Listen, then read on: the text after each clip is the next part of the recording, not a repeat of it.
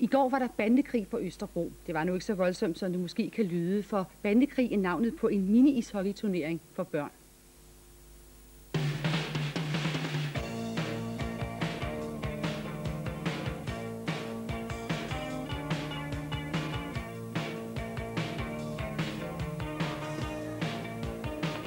Den yngste var 3, og den ældste 8 år gammel, da omkring 100 talentfulde ishockeyspillere fra seks forskellige københavnske klubber mødtes til bandekrig i Østerbro Skøjtehal.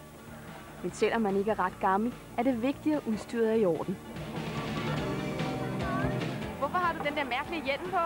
Fordi så, så slår vi ikke hovedet.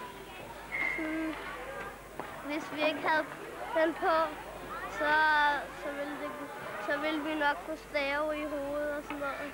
Og en kuk måske også? Ja.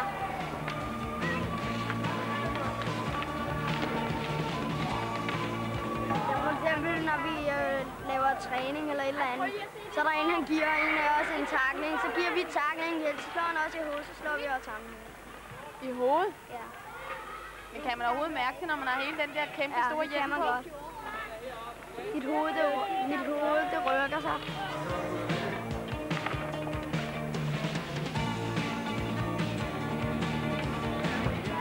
Ishockey et spil for børn under 8 år? Jamen det synes jeg, man kan se, når man kigger på, hvordan det foregår det herinde. De er jo mægtig glade for at være her, børnene, og gå op i det med liv og sjæl. Men er det ikke lidt tidligt at starte med at spille ishockey som 5-6-årig? Jo, men det bliver hurtigt for sent. Du bliver bange for at falde. Det er svært at lære at køre på skøjter. Du skal jo lære to ting på én gang. Du skal jo lære at køre på skøjter, og du skal lære at spille ishockey.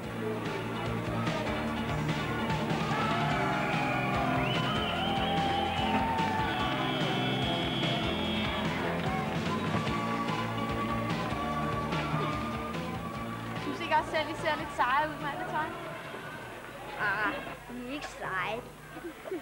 Du ser ud som om, du er enormt bredskuldret. Nogle gange, når jeg ser ishockey i fjernsynet, så begynder de bare at slås helt vildt. Gør I også det nogle gange? Du gør i hvert fald ikke. Nej. Men nogle af de andre drenge, det siger, de gør det. Ja. Og der er aldrig nogen, der slår ud efter dig. Jo, nu. Nogle gange. Hvad gør du så? Gå tilbage.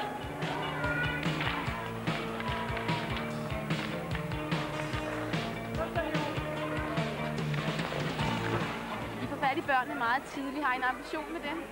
Men det er jo klart, at en, en hver klub spiller på øh, at få et, et eliteseriehold. Og det er jo måske en langsigtet politik, men øh, det er det, man spiller efter. Men nu, nu handler det ikke så meget om konkurrence. Det handler ikke om konkurrence i den alder. Det gør det ikke. Det handler om at have det sjovt. Hvorfor går du til ishockey? Fordi jeg synes, det er sjovt. Men er det ikke sjovt at gå til fodbold? Nej, det er revet røvsygt.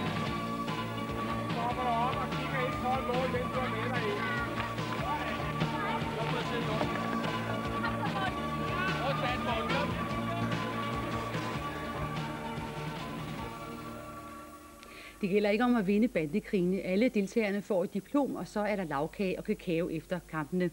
Dansk Idrætsforbund har lovet at støtte bandekrigene økonomisk, og den næste krig bliver i Kastrup den 15.